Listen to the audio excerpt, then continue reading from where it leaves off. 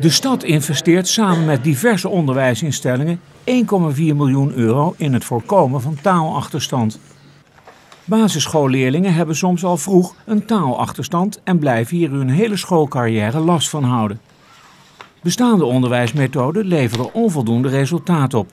Nu introduceren Stad, Universiteit Hans Hogeschool en drie schoolbesturen de methode Success for All. Ouderparticipatie, spelen met taal, veel taalkilometers maken staan hierin centraal. De bijdrage van de gemeente bedraagt bijna 500.000 euro.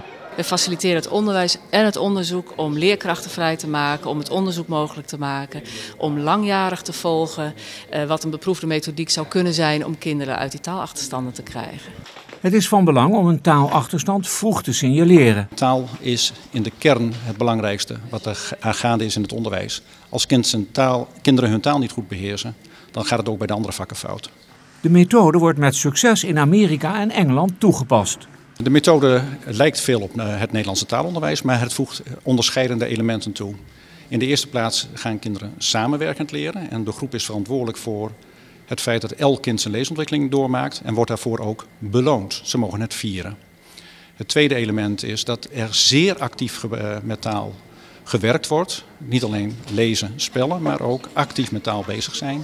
En dat doen de kinderen ook thuis. En dat zorgt al voor een beginsel waarbij ouders veel meer betrokken zijn direct bij het onderwijs van hun kinderen. Het project heeft een looptijd van vier jaar.